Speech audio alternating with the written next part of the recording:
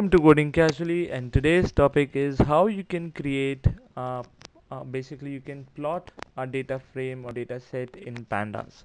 So there are many ways you can uh, use the plot function but I have a very simple one which you can use and then you can easily plot a simple data set uh, in Jupyter Notebook.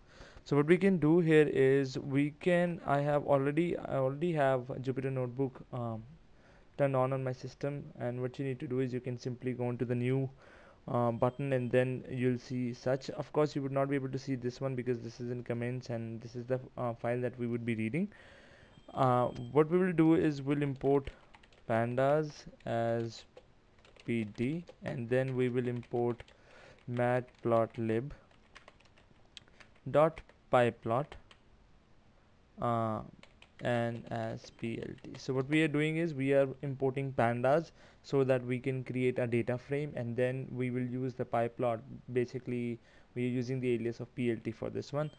And then what we'll do is we will read a data set. So in order to read the data set what we'll do is we'll read I will give uh, PD which is basically pandas and we'll use the read CSV option and then we'll close the bracket. This is something uh, which is which is something that we can use because this is the location of the file that we would be reading. And we'll press enter and then we will write df1 so in order to see what the data looks like we will see yes this is how the data looks like. Now what we can do is in order to plot the data uh, using the pandas data frame uh, data set we can write df1 dot plot and the moment I'll press shift enter you'll see that there is a plot. Uh, this is basically a line chart. If you don't like the line chart if you want to change the line chart to a bar chart you can write bar and then press shift enter. You'll see the bar chart. If you want to change the bar chart to a box chart you can write box and then you'll be able to see a box chart.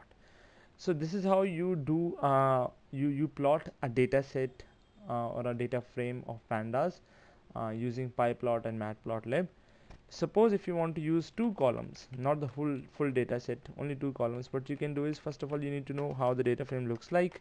You can write df1 and then press this. This is how you see the data.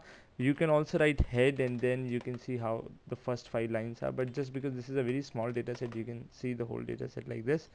And then you can write instead of this one you can simply copy this and then write um, of course we'll first put it in comments and then we'll write x equals to what? x equals to sal. Uh, we can write this or rather we can use region here and then give y value as sal. And let's see whether it plots the data or not. You can see yes it does.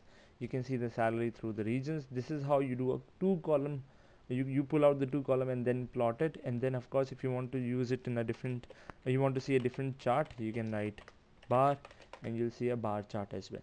This is how you do it. Uh, you you convert the data frame of pandas into a plot chart or basically a chart. And there are many charts you can use it but this is a very simple way this is a very beginner level of the tutorial. If you if you are merging yourself into pandas and then you want to visualize data set there are more complex ways and there are there are more complex situations that you might have to solve before you uh, hop onto chart or you hop onto visualization. But this is a simple data frame pandas or sorry a different or, or a simple data set of pandas which we have converted into a chart so if you like the video please uh, subscribe the channel uh, curate the videos if if somebody is facing issues in creating the chart uh, using pandas.